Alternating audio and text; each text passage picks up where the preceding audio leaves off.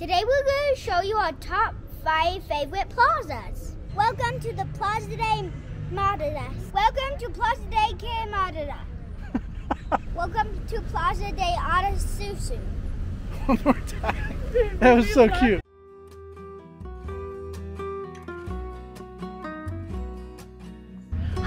From San Luis Potosi, the capital city of the state of San Luis Potosi in Mexico. This is one of our favorite cities, and in 2010 it was designated as a UNESCO World Heritage Site. And today we're taking you straight into the middle of the historic city center to show you our top five favorite plazas. We're just down the street from the first plaza that we're going to show you. It's about two blocks away from where we're staying right now, so we're going to head on over there.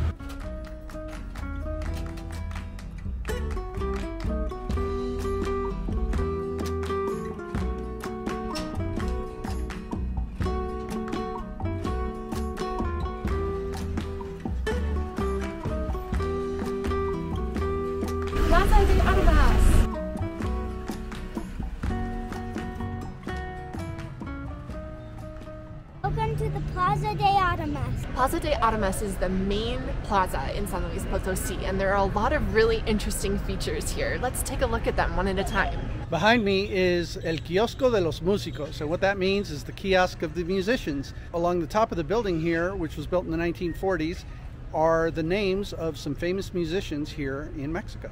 The building that you can't help but look at as soon as you come into Plaza de Armas is right behind me, the San Luis Potosi Cathedral. Construction commenced in 1670 and it was finished in 1730.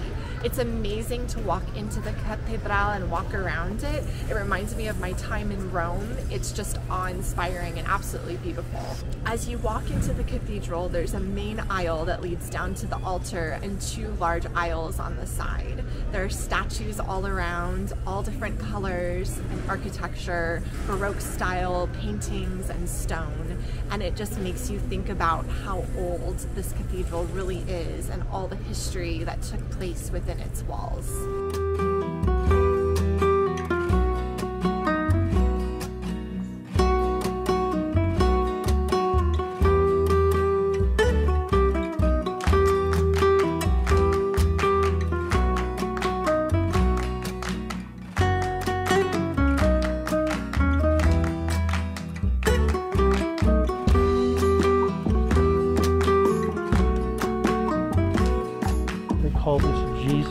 The Humility.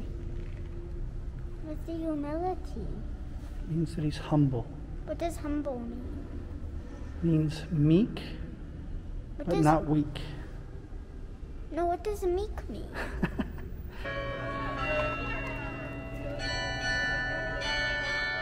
Right next door to the cathedral in the Plaza de Armas is the Municipal Palace or Palacio Municipal, which was built in 1855. This building serves as the seat of power for the president of San Luis Potosi and the headquarters for city authorities. We'd call this City Hall in the United States. The Municipal Palace is a solid quarry building with two floors and a mezzanine. The most prominent feature of the building are the 16 arches that make up the front facade. There are seven along the front and nine on the side. I asked to go in, but they wouldn't let me. Okay, are you ready for this? Major plot twist here. The day after I originally recorded this video footage, we had gone back into the Plaza de Armas for breakfast. Brittany and I had split up. She was taking Caspian back out to our place, and I was getting some pan. On my way out of the panaderia, this guy randomly bumps into me, and get this the guy is part of the president of San Luis Potosi's entourage.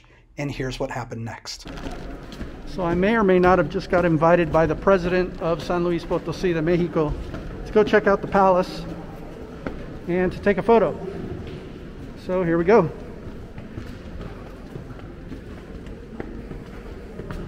El Palacio Municipal. Sí. Aquí es el gobierno de la ciudad. Es la parte más bonita del, del palacio. Hola. Es el presidente, the president of San Luis Potosi. We just ran into him on the street, and he invited us up to come and talk to him. So this is the palace. This is where he lives. This is City Hall. Es correcto. Pásale. Pásale, Gracias. Buenas tardes.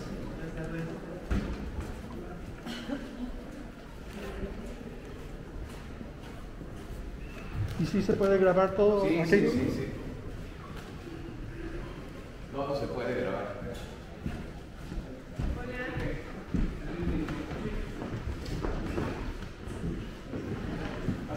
Gracias.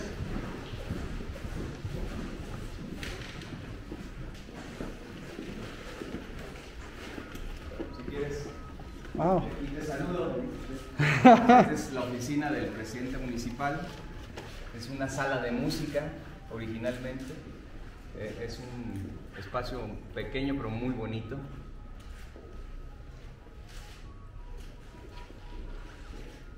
¿Me puedo quitar esto? Sí, claro. I just asked for permission to take off my mask. Uh, this is a music hall, and this is the office of the president of San Luis Potosi. And that is him right there.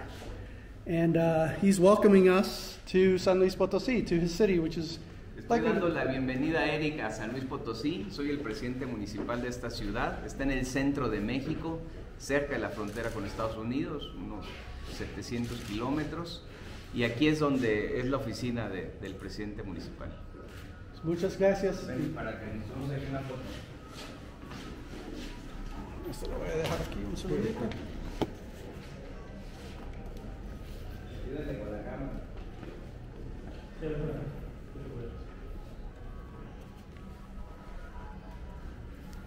Cualquier gracias. Me siento un poco no vestido No, no, bien. no importa. Aquí, por favor, en el celular primero. ¿Una aquí? Gracias. Gracias, muchas Gracias. gracias. por su tiempo, señor. A tus órdenes, Eric. Muchas gracias. Really nice guy. Whole lot of press. So we didn't get to see it the first time, but uh, I got to see it this time. You know, just over here walking through the municipal palace by myself. Pretty cool. Though it was awesome meeting the president, it was unfortunate that Brittany and I had split up and that she and Caspian missed out on meeting him. I told the president about my family, and he said that he would very much like to meet them and that I should get them and bring them back. So he told me he'd be around till 1 p.m., which was still a few hours away, so I went ahead and got him. So I found Brittany and Caspian, and I brought them back with me.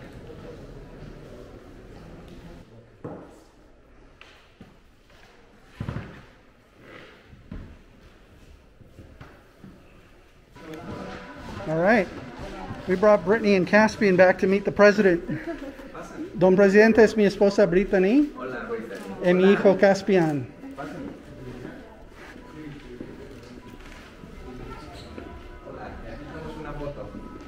We're going to take a picture right here on the square, baby. Wait, can we take our? Sí, claro, por supuesto, sí. Vamos a, aquí el celular.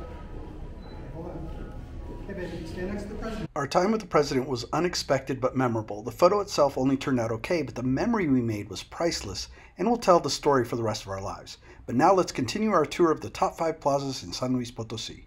Right outside the front door of the municipal palace is a statue, which is the next part of our tour of Plaza de Armas. The statue is called El Señor de las Palomas, and it has quite a story. Notice how the statue is staring directly at the municipal building we just took a look at? This is not by accident. The story goes that there was an industrial worker named Don Jose Moreno who, after retirement, would feed the doves by hand in the Plaza de Armas twice a day, every day of the year, and he was loved by the people of the city. The city was actually going to try and exterminate the doves, and Don Jose fell ill at the news. The people of the city rose up in protest, and the city relented and even paid to buy seed to give Don Jose, who continued to feed them till the day that he died. This is the house of the Viceroy of New Spain, Don Felix Maria Calleja. It originally belonged to his wife. There are some things that are preserved intact from this building that dates back to the 18th century. One of them is a wood panel door, and another is a large patio. If you look closely, this is actually considered the most elegant balcony in all of San Luis Potosi and one of the prettiest in all of Mexico. It has slanted ironwork and high quality cornices. Not to be outdone, and last but not least, this final building in the Plaza de Armas is the Palacio del Gobierno, or Government Palace. This building was started in 1770 and took 57 years to complete. It served as the presidential palace for the Republic of Mexico for a short time. So we're leaving the Plaza de Armas. Hope you enjoyed that one. But right next to it, about a block away, is the second one called Plaza del Carmen. And if you go just to the side of the cathedral and down this street, you can see the cathedral is right here. That domed building at the very end of this street is the start of Plaza del Carmen.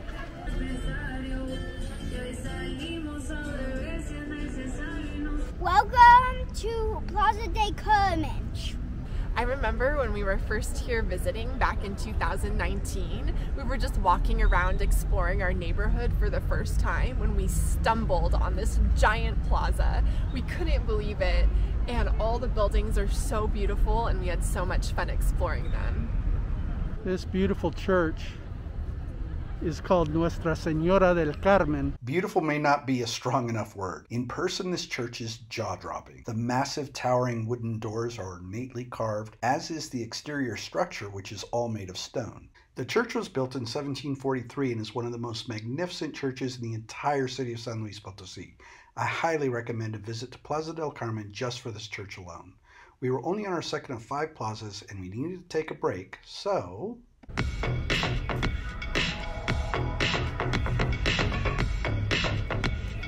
This is the Vice Regal Art Museum. It was built between 1768 and 1771.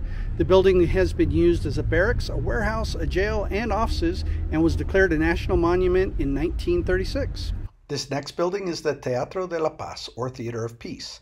Also located here in Plaza del Carmen, this is one of four national theaters of Mexico. It was built between 1889 and 1894 and has hosted a myriad of important political and cultural events.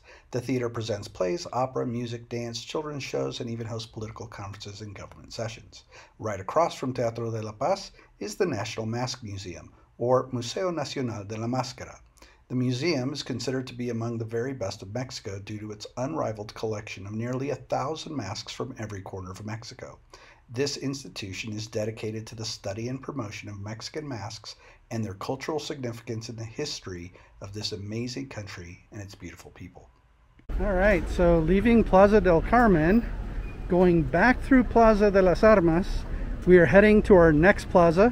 Caspian will introduce it to you in just a moment.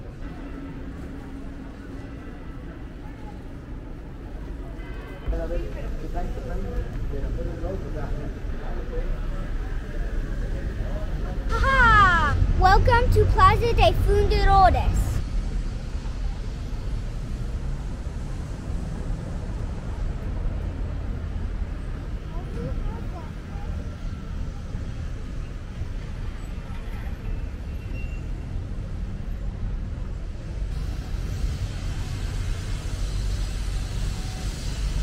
This chapel is called the Loreto Chapel.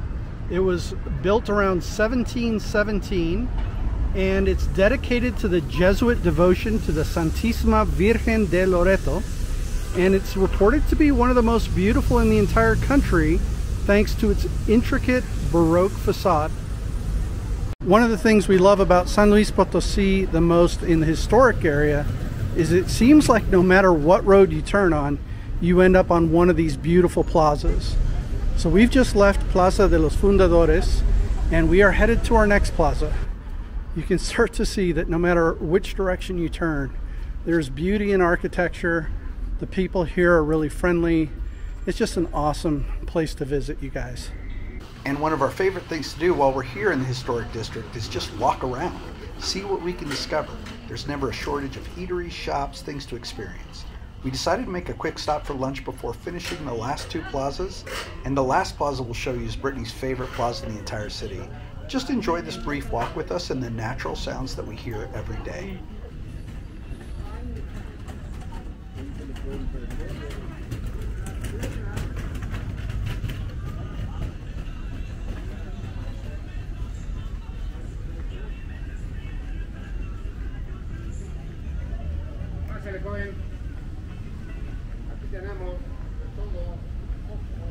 Keep in mind that all of the five plazas that we'll show you in our video today are within 10 square blocks of each other. But first, We decided on Cafe El Cortal for lunch and wait until you see Brittany's plate. It's right here across the street and this yellow building.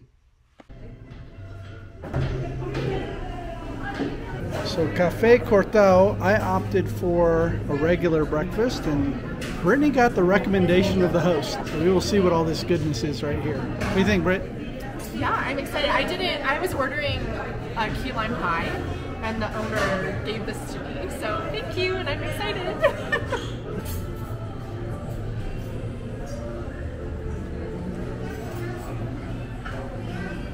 How is it, Caspian? Thumbs up. Above highest. Welcome to the Plaza of Aranzazu. The Plaza of Aranzazu is a very simple plaza. This was a convent here, and it's really well known for this dome at the very, very top. That's all stained glass up there. Now, I wish I could get closer, but the building has been closed due to COVID right now. Inside the back of this building here is the Regional Museum of Potosi, which has the whole history of this area and whatnot, but it's closed right now due to COVID. Still a beautiful plaza, and we have one more to show you. So this little walkway between Plaza Aranzazu and our next stop is actually one of our favorite little walkways in town. A lot of restaurants and bakeries along here and local artisans. This beautiful wall of the convent, massive stone wall. This little place, La Oruga, is actually one of our favorite places to eat in town.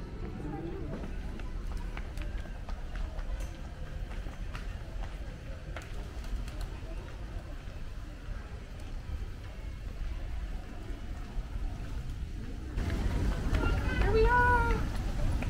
Welcome to the Jardín de San Francisco.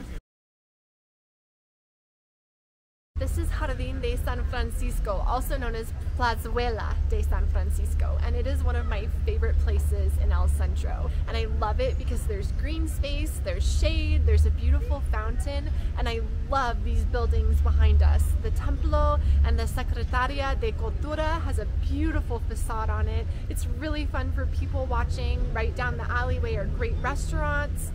What is there not to love?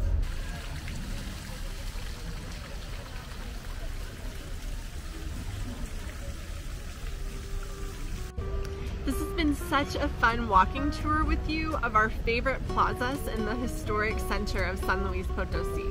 Yeah, we really hope you've enjoyed it. Please drop us a comment if you guys have any questions. Subscribe to the channel and just wait until you see what we've got coming up. We are spending six months in the interior of Mexico. We love it so much and we are seriously just getting started. Hope you're enjoying the ride. We'll see you in the next video. See you later.